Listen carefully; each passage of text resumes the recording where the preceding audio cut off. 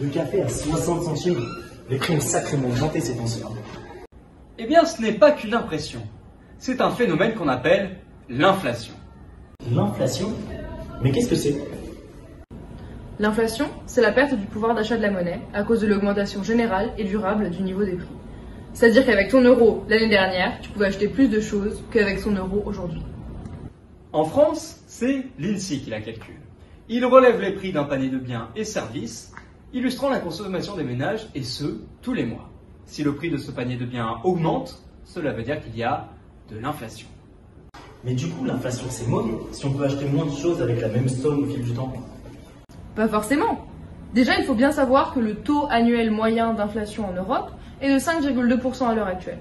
C'est-à-dire qu'un bien qui valait 100 euros l'année dernière vaudra 5,2 euros de plus cette année. C'est pas comme s'il fallait payer le double. Les nuances. L'inflation à si bas niveau n'est une tendance apparue en Europe que sur les dix dernières années. En effet, le taux le plus bas se situe à Malte, à 2,6%, tandis que le plus élevé est en Estonie à 12%. Et puis l'inflation, tant qu'elle reste sous contrôle, est souhaitable. Avec de l'inflation, ça nous pousse à faire des achats aujourd'hui plutôt que demain.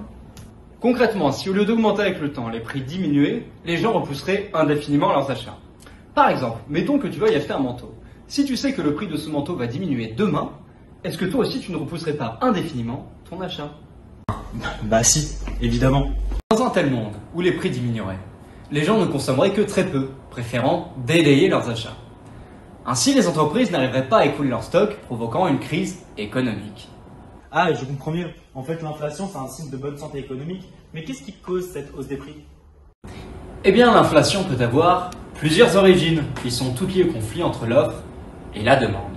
En effet, mécaniquement, si la demande des consommateurs augmente plus vite que ce que les producteurs sont prêts à offrir, il y a un déséquilibre offre-demande. Ce que les gens veulent est trop élevé par rapport à ce que les producteurs peuvent effectivement offrir. Les producteurs augmentent alors leur prix, décourageant certains consommateurs d'acheter, permettant un rééquilibrage. C'est l'inflation par la demande. Ce déséquilibre entre l'offre et la demande, et donc l'inflation, peut avoir plusieurs origines. Premièrement, une origine monétaire. Si la BCE émet de nouveaux euros, alors mettons par exemple que ces euros soient utilisés par les consommateurs pour acheter plus de pain, les boulangers ne pourront pas produire suffisamment de pain pour faire face à la demande. Ils devront donc monter leur prix, causant une inflation monétaire, car causée par l'émission de nouvelles monnaies. L'inflation peut aussi trouver son origine dans les coûts de production. Par exemple, si un incendie venait à détruire les champs de blé français, nous aurions moins de farine disponible et le boulanger, pour produire sa baguette, devrait payer plus cher. Il le répercuterait donc sur les prix. Ah, je comprends mieux. Merci pour cette explication. Mais quelles sont les causes de l'inflation aujourd'hui? Eh bien justement, cela pose question chez les économistes. On se demande si c'est plutôt à cause de raisons conjoncturelles, comme par exemple le confinement, ou alors à cause de raisons structurelles. Les raisons structurelles pouvant être le contexte géopolitique, l'économie mondiale, le repli du commerce international, ou ce genre de choses. Mais bon, on s'accorde aujourd'hui à dire qu'il y a à la fois et une inflation par les coûts et une inflation d'origine monétaire. L'inflation d'origine monétaire est due au fait que pendant la crise, la BCE a dû émettre beaucoup de nouveaux euros pour pouvoir les donner aux entreprises afin de les aider.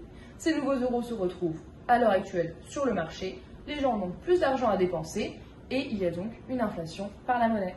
Quant à l'inflation par les coûts, la crise sanitaire ayant augmenté le coût des importations pour les entreprises, celles-ci le répercutent sur leurs prix pour conserver leur marge. Mais cette inflation, elle peut aller jusqu'à où? Elle peut aller très loin, avec des prix qui montent très très haut. On parle alors d'hyperinflation.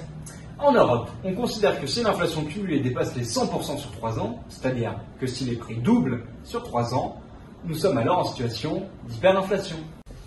Mais c'est déjà arrivé dans l'histoire? Plusieurs fois oui. C'est l'image très connue de l'Allemand qui, dans les années 20, est parti acheter sa baguette de pain avec une brouette remplie de billets. Et il avait plus peur pour la brouette que pour les billets qu'il avait à l'intérieur. Mais bon, avec une inflation aujourd'hui à 5,2%, nous sommes encore très loin de l'hyperinflation. Même s'il y a eu pire, moi, toute cette inflation, ça me fait peur. Comment m'y préparer? Tout d'abord, l'inflation n'est pas forcément à craindre. En effet, pour les emprunteurs, c'est plutôt quelque chose qui les arrange. Imaginons qu'Emma emprunte 1000 euros aujourd'hui, à rembourser dans un an sans taux d'intérêt. Imaginons également que le taux d'inflation soit à 10% de façon annuelle. Eh bien, cela signifie que dans un an, Emma ne devra plus rembourser que 1000 euros divisé par 1,10, à savoir 909 euros, à pouvoir d'achat équivalent. Oula, ça me paraît compliqué tout ça. Concrètement, plus il y a d'inflation, moins 1 euro dans le futur aura de valeur réelle aujourd'hui, c'est-à-dire moins il permettra d'avoir de pouvoir d'achat. Cela bénéficie aux emprunteurs, car la valeur en termes de pouvoir d'achat de ce qu'ils auront à rembourser dans le futur sera plus faible qu'aujourd'hui. Dans les faits, rembourser leur emprunt leur coûte moins cher, surtout si leur salaire augmente avec l'inflation. Ah, je comprends bien. Mais si c'est moi qui ai de l'argent à placer cette fois-ci? C'est le contraire pour un épargnant, puisque en cas d'inflation, 1 euro dans le futur permet de consommer moins qu'un euro aujourd'hui. Il y a une baisse de pouvoir d'achat de la monnaie. Ainsi, si Emma, par exemple, avait 1000 euros et qu'elle souhaitait les conserver, alors qu'il y a un taux d'inflation de 10%, si elle ne les plaçait pas, dans un an, elle n'aurait plus que 909 euros en termes de pouvoir d'achat. Pour parler plus simplement, en cas d'inflation, si Emma souhaite utiliser ses 1000 euros d'épargne pour acheter un manteau, mieux vaut qu'elle l'achète aujourd'hui que demain. Ou alors elle peut également placer son argent. Je vois. Du coup, l'inflation, c'est pas si mal que ça. Dans tous les cas, tant qu'elle est limitée, un peu d'inflation n'est pas si terrible et n'affecte pas tout le monde de la même façon. Et en plus, la BCE a vocation de conserver le taux d'inflation en dessous des 2%, ce qui nous garantit donc bien une certaine stabilité.